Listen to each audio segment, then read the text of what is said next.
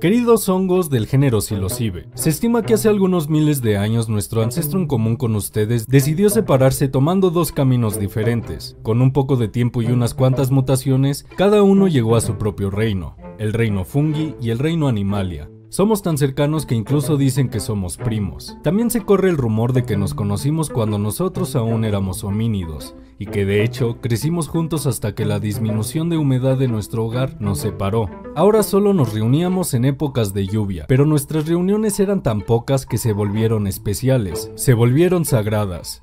Y aunque nuestra diosa madre nos ayudaba a que nos viéramos de vez en cuando, a nuestro dios padre no le parecía, así que nos castigó sin dejar vernos durante algún tiempo. Por suerte algunas culturas se siguieron reencontrando contigo en secreto, secreto que no duró por mucho tiempo. En cuanto se revelaron nuestras ceremonias se volvieron tan habituales que pasaron de ser sagradas a ser incómodas. Esa incomodidad nos hizo creer que nos hacían daño, así que decidimos alejarnos de ustedes, prohibiéndonos verlos. Pero ahora que somos más maduros al respecto, ahora que te extrañamos y nos está dando curiosidad por saber qué ha sido de ti, hemos descubierto lo mucho que nos puedes ayudar, hemos entendido que podemos tener una relación sana y hemos aprendido mucho sobre ti.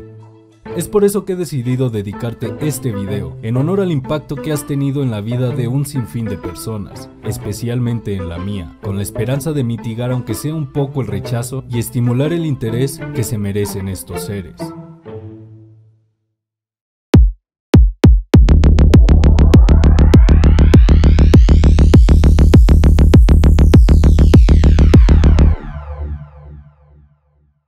No se sabe con certeza en qué momento los humanos comenzamos a consumir hongos psilocibe, la hipótesis que nos remonta a la época más antigua es la de Terence McKenna, quien dice que fueron consumidos hace millones de años por homínidos. Según él, el consumo durante varias generaciones hizo mutar a nuestro cerebro ocasionando el salto evolutivo que dio el homínido hacia el ser humano. Es decir, gracias a estos hongos pasamos de pelearnos con piedras y palos a desarrollar el lenguaje, construir templos para nuestros dioses, realizar arte, crear máquinas, desarrollar teorías matemáticas, detectar ondas gravitacionales y pelearnos con piedras y palos, pero esta vez con ropa.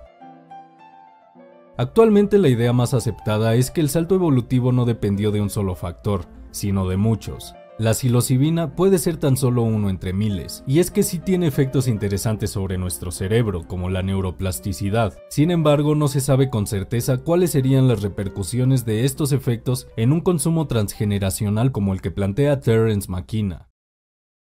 Cronológicamente, los siguientes indicios del consumo de hongos los encontramos en algunas pinturas rupestres. Por ejemplo, estas pinturas del Sahara de una antigüedad de 8000 años. En ellas observamos a esta criatura que contiene hongos en todo su cuerpo. En otra, observamos a estos seres con hongos en las manos. Cabe recalcar los puntos que salen de los hongos dirigiéndose a sus cabezas, que podemos interpretar como una referencia a los efectos que tienen sobre la mente.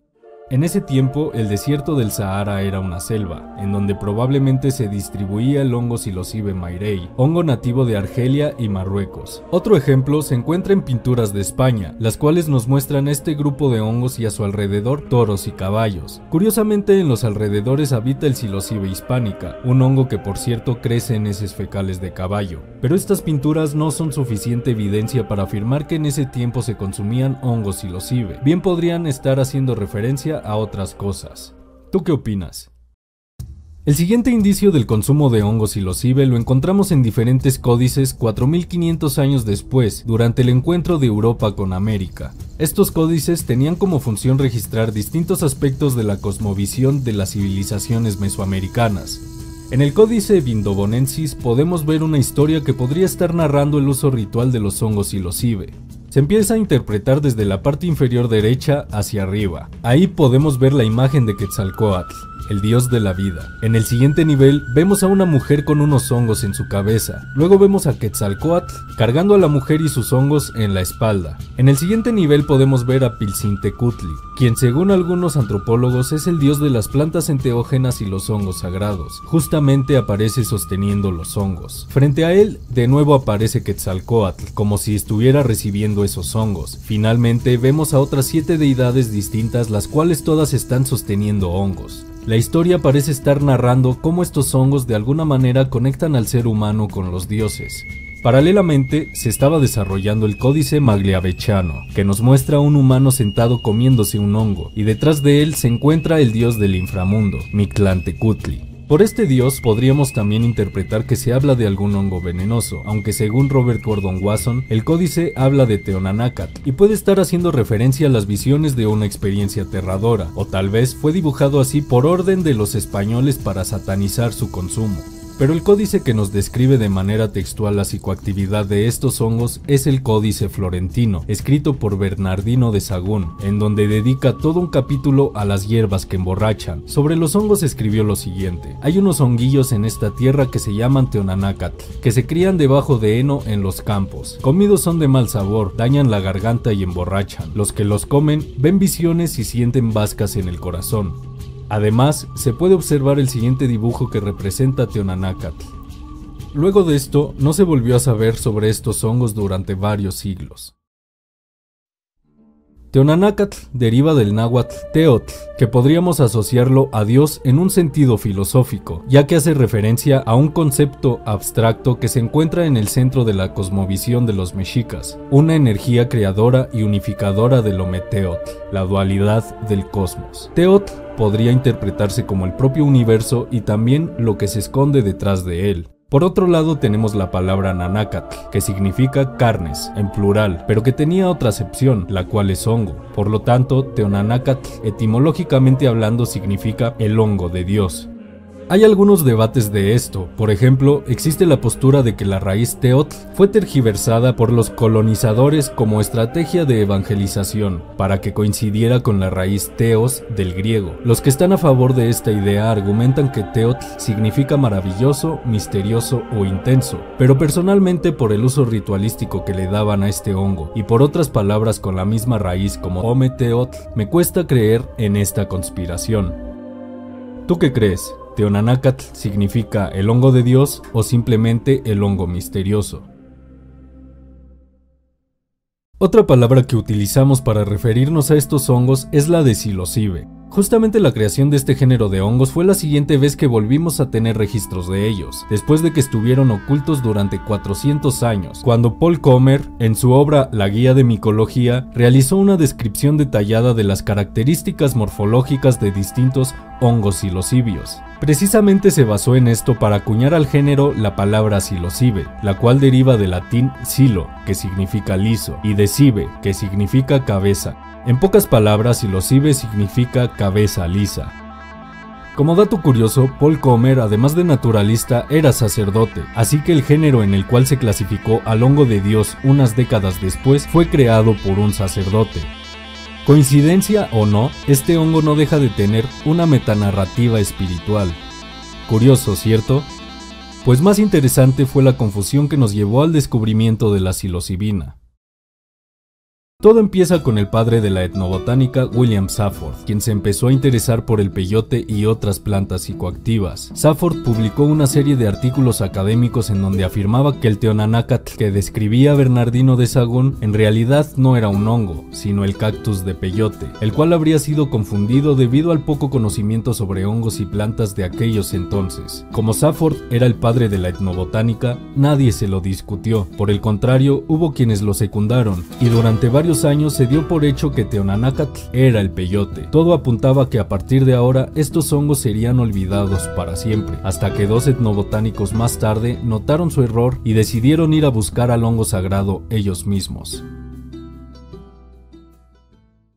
Por una parte tenemos a Blas Pablo Reco, un médico y farmacólogo austriaco que por cuestiones de trabajo se mudó a Oaxaca. Ahí se empezó a interesar por la etnobotánica del lugar, su aporte interesante a esta historia es una carta que le mandó al director del Herbario Nacional de los Estados Unidos. El coprotagonista es Richard Evan Schultz, un gran etnobotánico que no creía que el peyote era el teonanácatl, dudaba del padre de la etnobotánica. Sin embargo, no se había dado el tiempo suficiente para refutarlo. Fue hasta que realizando su tesis sobre el peyote, decidió consultar el Herbario Nacional de los Estados Unidos y encontró la carta de Pablo Reco, la cual decía lo siguiente: Veo en la descripción de la lofofora que el Dr. Safford piensa que esta planta es el Teonanácatl de Sagún, pero está equivocado. En realidad, es un hongo que se da en el estiércol y que todavía lo usan bajo el mismo nombre en Oaxaca durante sus fiestas religiosas.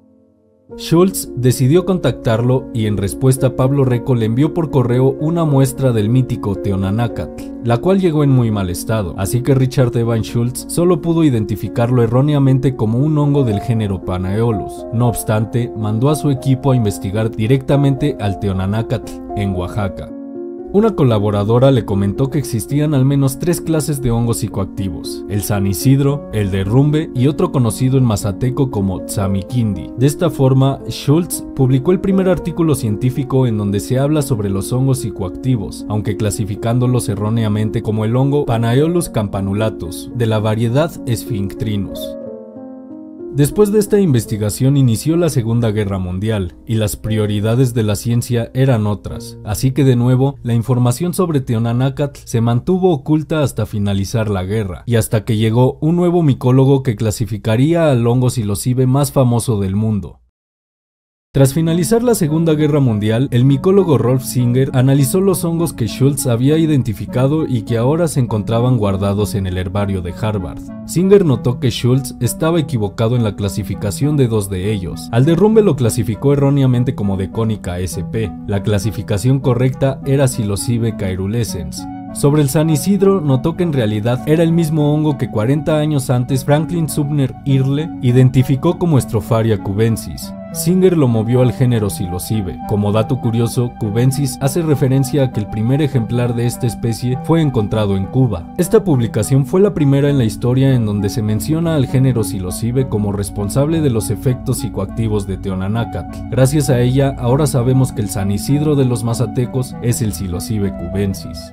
Sin embargo, de nuevo Teonanacatl quedó en el olvido, tal vez porque esta información se encontraba escondida en tres renglones de una obra de 800 páginas. Por suerte, una pareja de dos etnomicólogos aficionados encontrarían al hongo sagrado de nuevo, esta vez para mostrárselo a todo el mundo. Valentina Pavlovna era una pediatra y Robert Gordon Wasson un banquero. No obstante, esta pareja despertó un profundo interés por los hongos investigándolos de manera autodidacta, tanto así que tiempo después serían conocidos por muchos como los padres de la etnomicología. Por medio del poeta Robert Graves recibieron el artículo de Richard Evan Schultz en donde contaba sobre el Teonanacat y su uso ritual de los mazatecos. Los Wasson se interesaron en estos hongos y decidieron contactar a Schultz. Tras esto la pareja decidió viajar a Oaxaca en donde estuvieron presenciando varias ceremonias. Los mazatecas al principio solo los dejaron participar como observadores, sin embargo, tras dos años lograron ganarse la confianza de una curandera, María Sabina, quien les enseñaría su conocimiento sobre hongos y además les permitiría participar en una ceremonia con ella. Publicaron sus hallazgos en 1957 en distintos lados, primeramente en el libro Mushrooms, Russia and History, también hicieron un artículo para la revista Life y finalmente en un artículo de la revista This Week, en donde Valentina Pavlovna hablaba del potencial terapéutico que tenían estos hongos. Por cierto, fue la primer científica en proponer a los hongos psilocibe como una herramienta terapéutica. Además, propuso que era necesario aislar al compuesto activo para estudiarlo y suministrarlo de mejor manera, aunque poco se le ha dado el crédito. Y así es como ahora la etnomicología se propuso una nueva meta, extraer el espíritu de Teonanacatl. En una de las expediciones de los Wasson los acompañó el micólogo Roger Heim, quien además de identificar a varios hongos psicoactivos dentro del género Psilocibe, logró llevarse unas muestras y cultivarlas en su laboratorio, transformándolo en el primer cultivador de hongos Psilocibe. Entre ellos cultivó al Psilocibe mexicana, nombrado como pajarito por los mazatecos, el cual era el más apto para cultivar. Además, envió algunas muestras de este hongo a Albert Hoffman para que las analizara químicamente. Heim eligió a Hoffman debido a que para este entonces él ya había descubierto al LSD, así que le parecía el químico más adecuado para dirigir esta investigación. Hoffman quería rechazar el proyecto y delegárselo a algún compañero. Sin embargo, nadie se interesó, así que decidió hacerlo él mismo, junto con su colaborador Hans Scherter. Lo primero que hizo para aislar al compuesto fue obtener extractos, pero debido a que ninguno parecía tener efecto ni en ratones ni en perros, dudaba de que las muestras siguieran siendo psicoactivas, así que puso en marcha el mismo protocolo que cuando descubrió al LSD, un protocolo que cualquier psiconauta de respeto haría. Probó 2.4 gramos de hongos secos para experimentar los efectos por sí mismo, y así sacarse de la duda. Como era de esperarse, los hongos sí seguían teniendo efecto. Esta experiencia que tuvo Hoffman con el psilocibe mexicana te la contaré en otro video. Si quieres verlo, suscríbete a mi canal. Después de esta experiencia confirmó que las muestras todavía tenían al compuesto activo. Para aislarlo, obtuvo varios extractos con distintos solventes a partir de los hongos. Ahora solo tenía que averiguar cuál de todos ellos contenía al espíritu de Teonanacat. Para descubrirlo, él y su equipo se bebieron cada uno de dichos extractos. El que alterara la percepción de los científicos contenía la mítica molécula. A partir de ahí, aislarlas era relativamente fácil. Con estas pruebas logró extraer dos sustancias, las cuales bautizó en honor al género psilocibe como psilocibina y psilocina. Sin embargo, estas dos sustancias no eran las únicas moléculas responsables de sus efectos. Los hongos del género psilocibe contienen en su interior al menos seis sustancias activas distintas, la psilocibina y psilocina, la norbiosistina y biocistina, la eruginacina y la norpsilocina. Como podemos notar, hay una estrecha relación estructural entre estas cuatro moléculas. De izquierda a derecha observamos cómo en el nitrógeno aumenta el número de metilos enlazados mientras disminuye el número de hidrógenos. Esa es la única diferencia entre estas moléculas. Todo lo demás es exactamente igual. La razón por por la que la psilocibina tenga mayor divulgación que las demás es debido a que es la sustancia que se encuentra en mayor proporción en estos hongos, además del contexto de su descubrimiento, pero cada una tiene su propia participación en los efectos. Se ha demostrado que la psilocibina es profármaco de la psilocina, es decir, dentro de nuestro organismo la psilocibina es transformada en psilocina mediante una reacción de desfosforilación, que ocasiona que esta molécula se desenlace del grupo fosfato. Por ende, la psilocibina no sería la causante de los efectos. El verdadero personaje principal es la psilocina. Gracias a esta información es como se deduce que todas las moléculas implicadas que tienen al grupo fosfato son profármacos de la psilocina y la norpsilocina, y tal vez alguna otra molécula similar que no se ha descubierto. Esto significaría que le debemos todo al grupo fosfato, que es quien protege a la psilocina y norpsilocina haciéndolas menos reactivas, además de ayudar a que más cantidad de estas moléculas lleguen a tu cerebro, algo así como un guardaespaldas molecular que cuida a las verdaderas protagonistas del show. Si ahora les muestro la molécula de la serotonina lograrán entender por qué estas dos moléculas logran ocupar su lugar en nuestro cerebro, principalmente en los receptores 5HT2A, los cuales están altamente relacionados con la regulación del estado de ánimo, la memoria y el aprendizaje. Pero no solo eso, también tienen la capacidad de reconfigurar nuestro cerebro y con ello nuestra mente. Y es que existe un estudio que indica que una sola toma de psilocibina incrementa el tamaño y la densidad de las dendritas, las cuales son ramificaciones neuronales que permiten recibir los impulsos eléctricos desde otras neuronas. El aumento de dendritas implica un aumento en el número y la fuerza de las conexiones neuronales. Debido a esto, aumenta la neuroplasticidad, que es la capacidad de que nuestro cerebro cambie de forma, dando como resultado nuevas conexiones neuronales, nuevas formas de interpretar la información que tenemos nuevas formas de interpretar los recuerdos, nuevas formas de interpretar la realidad y por consecuente nuevas formas de relacionarnos con ella. Ling Xia Xiao y su equipo consideran que la neuroplasticidad estimulada por la psilocibina puede estar asociada a los beneficios terapéuticos que se le han encontrado a esta sustancia.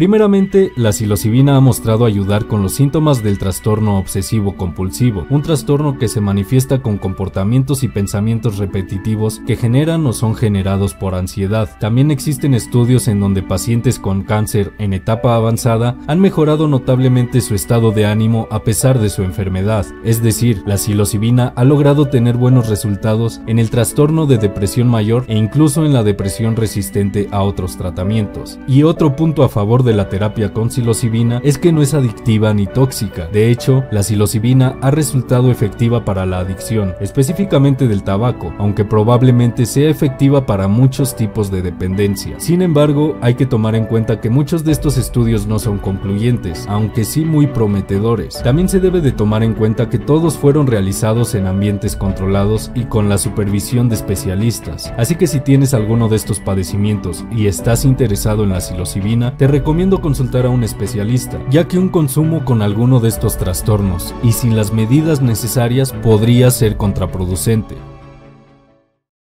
Y ahora que sabemos la historia de estos hongos y sus potenciales usos terapéuticos, surge una duda. ¿Por qué son ilegales?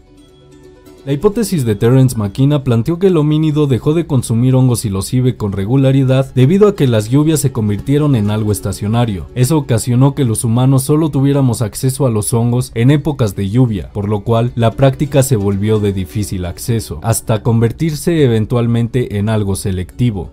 Solo los chamanes que sabían cómo manejar a estos hongos y los pacientes que los necesitaban podían usarlos. El consumo de hongos y los cibes se convirtió en algo ritualístico y ceremonial. Además, algunos antropólogos sostienen que la iglesia, al intentar evangelizar a los mesoamericanos, satanizaron a varias de nuestras tradiciones. De esta forma, el consumo de Teonanacatl disminuyó drásticamente y fue así como se mantuvo oculto hasta el siglo XX. En los años 60, durante la revolución psicodélica, varios factores causaron la degradación del movimiento hippie, lo cual generó un consumo desmedido e irresponsable de los psicodélicos. Esto fue el pretexto perfecto para que un gobierno autoritario como el de Richard Nixon le declarara la guerra a las drogas sin quitarse el emblema de la paz y prohibiera la investigación de estas sustancias sin quitarse el emblema de la libertad. Hay hongos con la capacidad de transformar la materia orgánica en descomposición a nutrientes para la materia viva. Hay hongos que desarrollaron sustancias que combaten a las bacterias que nos enferman. Y están estos hongos, que pueden cambiar la depresión, ansiedad y angustia en felicidad, inspiración y paz. Ay, querido Silosibe, ojalá pronto la sociedad empiece a apreciar tus cualidades para transmutar la realidad.